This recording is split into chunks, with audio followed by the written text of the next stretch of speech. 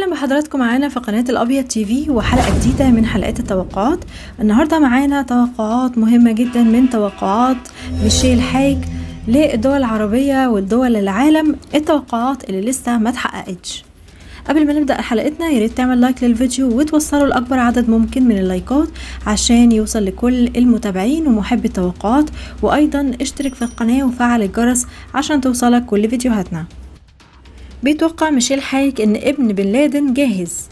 وزير دفاع عربي يتخطى صلاحيته وانتقال ظاهرة إطلاق الرصاص على الأفراد في المدارس والجامعات والكنائس في أمريكا إلى منطقتنا. ظهور نسخة جديدة من داعش وصور جديدة من موسم الحج تعلق في الأذهان. ينتهي الربيع العربي في المناطق التي بدأ منها. غزو الرقص الشرقي إلى الشرق والغرب. اكتشاف وثائق ذات صلة بأنبياء العهد القديم. سقوط طائرة عربية ومشاهد غير مألوفة لأمواج البحر المتوسط. تهديدات لرئيس وزراء بريطانيا تبقى فقط كلاما. جمهور المغنية أديل يصاب بصدمة. الأمير هاري على موعد مع فرحة غير مكتملة. ما سيحدث في قصر باكنغهام لم يحدث سابقا. شعبية الرئيس ماكرون على المحك. خبر مثير عن السيدة الفرنسية الأولى.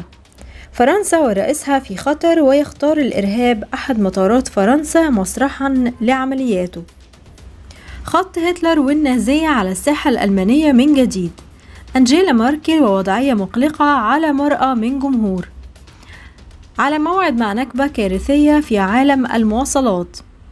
استهداف مركز حكومي في إيطاليا. حالة من الذعر في إيطاليا وخلل في فريق ريال مدريد.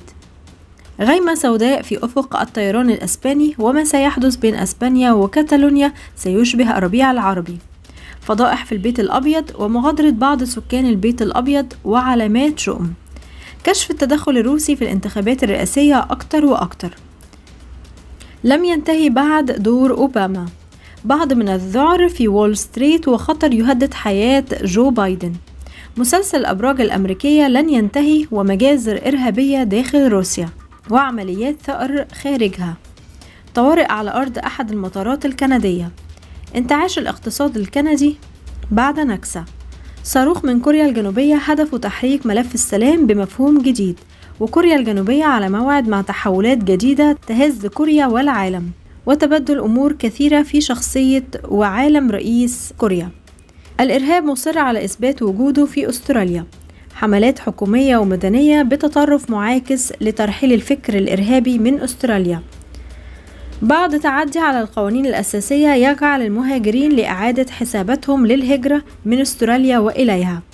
علامات تجارية كبيرة منها شركة أمازون برسم الاهتزاز. انقلاب ببورصة النفط. الإنتربول حدث يتحول لحديث للناس. الكشف عن أسرار الكائنات الغريبة عن الأرض. الكشف عن جريمة كبيرة محورها رجال دين كبار في الكنيسة. هزة كبيرة في عرش ملكات الجمال. صدمة بين مغردي تويتر بعد مشكلة. أحد فروع ستاربكس وغيره من مجال القهوة لن يبقى فقط لاحتساء القهوة. أضواء العالم على اسم بيليه مؤسس فيسبوك وعائلته في قضية كبيرة. يوم الجمعة الذي يصادف 13 من الشهر سيشهد حادث أليم ليثبت اعتقاد يوم 13 الشؤم. أما توقعات الدول العربية لميشيل حايك بيقول إن بعض خصوم سوريا سيشاركون في إعمارها واحتمالات كبيرة في فلك ماهر الأسد ولن يبقى الجولان جغرافيا جامدة. وستفيق سوريا على خبر مرتبط بالدبلوماسية العالمية لم تسمع به من قبل. ارتفاع العقارات السورية وإدلب أرض الدماء والدموع. الممثل السوري جمال سليمان بدور غير تمثيلي. الأمين العام لجامعة الدول العربية في ورطة. الرياضة المصرية رائدة في العالم العربي وتحصد جوائز عالمية. يستعد ولي العهد السعودي محمد بن سلمان للعبور إلى العرش الملكي فوق ورود ملغمة واسم ولي العهد يشغل بال المملكة. عيون السعوديين على وزارة الداخلية ووزيرها وأحداث أمنية في السعودية. بأشكال مختلفة والمطلوب من أمن ولي العهد السعودي تأمين نجاته هذه المرة أيضا. عفو ذهبي سعودي على رأس القلم الملكي. التصعيد الإيراني السعودي سيحبس أنفاس العالم. بين الفلسطينيين والإسرائيليين لكم قدسكم ولنا قدسنا. انتقال الشؤم إلى الرؤساء بايدن ونتنياهو ومحمود عباس. تنقلب الأدوار في قضية تعنى بالمسجد الأقصى والعرب لن يتراجعوا أبدا. ومحاولة جديدة لجعل إسماعيل هنية بلا صوت. تحركات تجعل الآخرون يحسبون حساب كبير. عهد جديد من التحديات لعهد التميمي داخل السجن وخارجه. وإطلالتها تحرك الشارع في الوقت القريب. لن يعود الطيران الحربي الإسرائيلي سالما دائما. ازدياد محاولات التطبيع بين إسرائيل وبعض الدول العربية خصوصا من ناحية الرياضة والفن والثقافة. مشاهد الاستعدادات وتحضير الملاجئ وتخزين المواد الغذائية في إسرائيل. كل شيء هيتغير مع تغيير الحكم في الجزائر. تكثر الرهانات على شخصية عسكرية جديدة جزائرية. أمير الكويت لن يتوقف عن استكمال مساعيه التاريخية لتكريس مصالحات بين الإخوة العرب. هزة في الكويت وطقس أوروبي فيها. تشهد أحد أسواق عمان منها مرفق سياحي غصة واسعة. في أفق الملك عبد الله أمران الأول يقود إلى مصالحة تاريخية عصت على كثير من الدول والثانية أزمات منها أزمة صحية وأزمة على مستوى البلاد يرافقها حزن.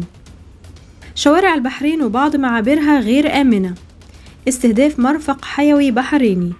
تنقلب الأمور رأسا على عقب في السودان. انتهاكات للدور اللي بيلعبه غسان سلامة في ليبيا. حرية سيف الإسلام القذافي ليست مضمونة وتنطلق ورشة ترميم وإصلاح في ليبيا. حفتر في مهب الخطر والريح والربح معا. إحدى تظاهرات المغرب تحمل ارتدادات سلبية والمغرب وجهة استثمارات ورؤوس الأموال وعشاق السكن الجميل من كل العالم. مفاعيل السياحة والفن والجمال أقوى من الإرهاب في المغرب. الفنون التونسية إلى العالمية. تتصدر المرأة التونسية الواجهة السياسية. الانتخابات البلدية المقبلة في تونس تحدث تغييرات مفاجئة في أداء السياسيين ولمستقبل الانتخابات أيضا للرئيس التونسي. تتعافى تونس ماليا واقتصاديا بعد الانهيار. الشيخ محمد بن زايد برسم الاستهداف المدبر وصدمات تطال الدبلوماسية الإماراتية في الخارج. حوادث مؤذية بانتظار بعض أفراد العائلة الحاكمة في الإمارات. صدمة في صفوف الحشد الشعبي في العراق ومواقف وتصريحات لمقتدى الصدر في مواجهة النار ويرتدي البدلة العسكرية. اشتعال البرلمان العراقي. نتائج المعركة التي ستحدث في صنعاء لن تنهي حرب اليمن. ولادة رؤية إيرانية بمواجهة الرؤية السعودية وصراع بينهما. قائد الحرس السوري الإيراني والحرس والحرس الثوري برسم التصنيف العالمي الذي سيفتح أفق الانتقام. المشكلة في إيران تتخطى غضب الشارع وتلامس حدود الاغتيالات والإعدام. يسعى أمير قطر شخصيا عبر خطوات ومبادرات إيجابية لمنع احتدام العلاقات مع الإمارات. صور بين السعودية وقطر تجمع ملكا وأميرين. صفحة جديدة للحكم القطري. الطائرات تحلق فوق قطر وتكثر قصص أردوغان الغريبة والخيالية داخل القصر وخارجه. مخططات لاستكمال النيل من زعامة أردوغان. الخطر يسبح في المياه التركية. وبكده نكون وصلنا معاكم لختام حلقة النهاردة من أهم توقعات ميشيل حايك للدول العربية والدول العالم والتوقعات اللي لسه ما تحققتش على أرض الواقع. بنتمنى يتحقق منها الخير وما يحصلش أبدا أي توقعات سيئة لأي دولة عربية وإسلامية. بشكركم على حسن متابعتكم. ما تنسوش تعملوا اللايك والاشتراك في القناة وأشوفكم بكرة على خير ودمتم بكل الخير والحب والسعادة.